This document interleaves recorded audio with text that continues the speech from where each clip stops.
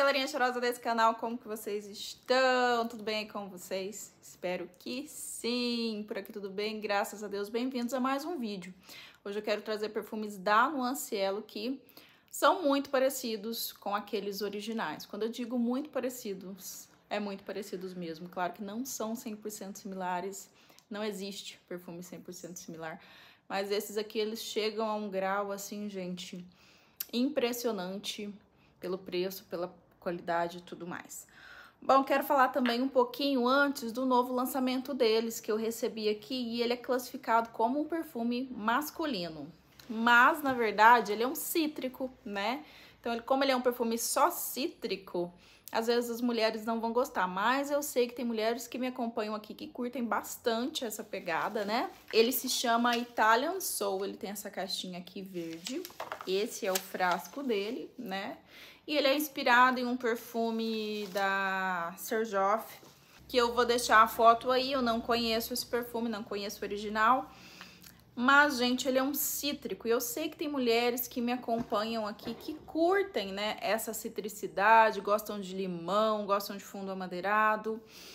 Eu achei ele um perfume muito, muito, muito gostoso. Ele tem bastante, bastante limão. Eu recebi ele aqui, geralmente a Nuancielo me envia também os masculinos, mas tem uns que eu acho masculinos demais, mas esse aqui, gente, eu achei a cara do verão. Ele é limão e ele tem alguma coisinha que na minha pele ficou atalcadinho, atalcadinho meio bebê, com esse limão. Mas, claro, ele é zero doçura, então tem gente que não vai gostar, tem mulher que só curte perfume doce, a maioria delas. E aí eu até vi o comentário de uma menina falando, Carol, eu comprei o novo Italian Soul. E ele tem cheiro de produto de limpeza. Por quê? Porque as pessoas associam perfumes cítricos demais a produtos de limpeza. Não tem nada disso, gente. Ai. Pra mim, ele é limão com um atocadinho baby. Achei muito perfeito para usar em dias quentes. É difícil achar perfumes assim, né? É como se você pegasse várias frutas cítricas, colocasse elas tudo juntas ali, laranja, limão, e adicionasse um atocadinho. Não achei ele amadeirado demais também na minha pele, não ficou esse excesso de madeiras, não.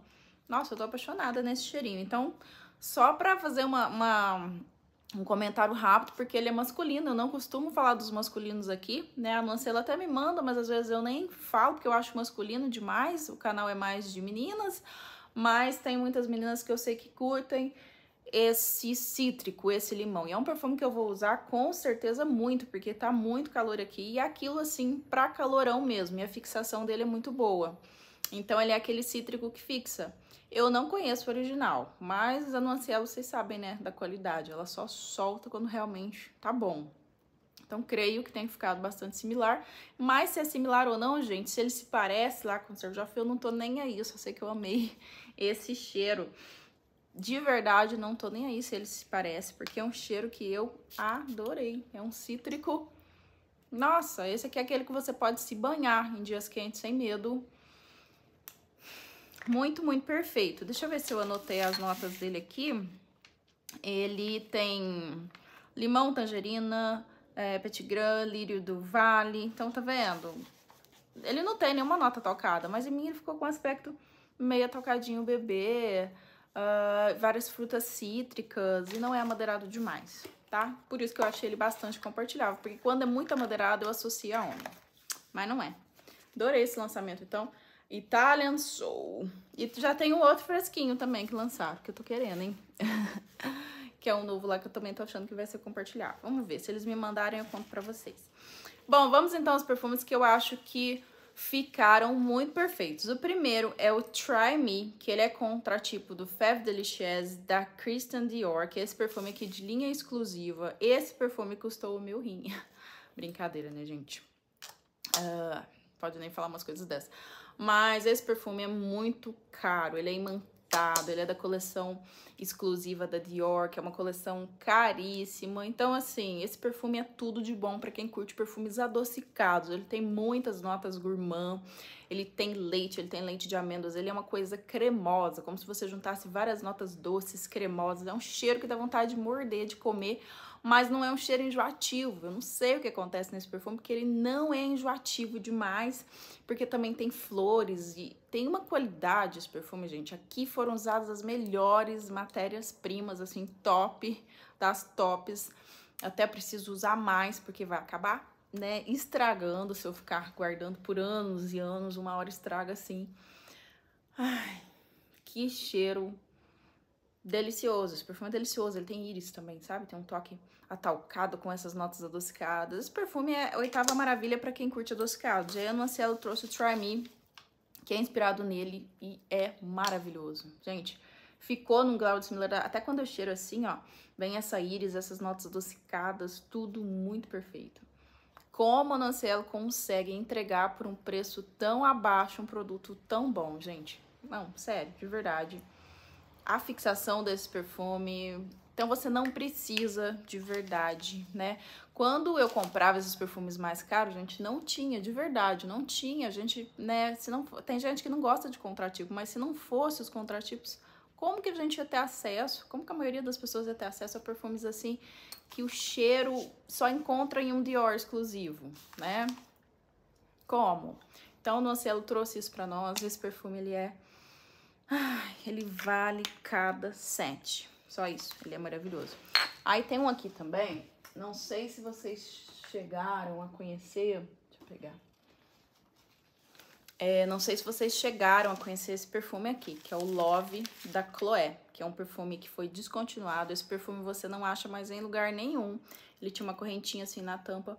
E eu não sei porque a Chloé fez a maldade, a maldade, gente, de descontinuar esse perfume.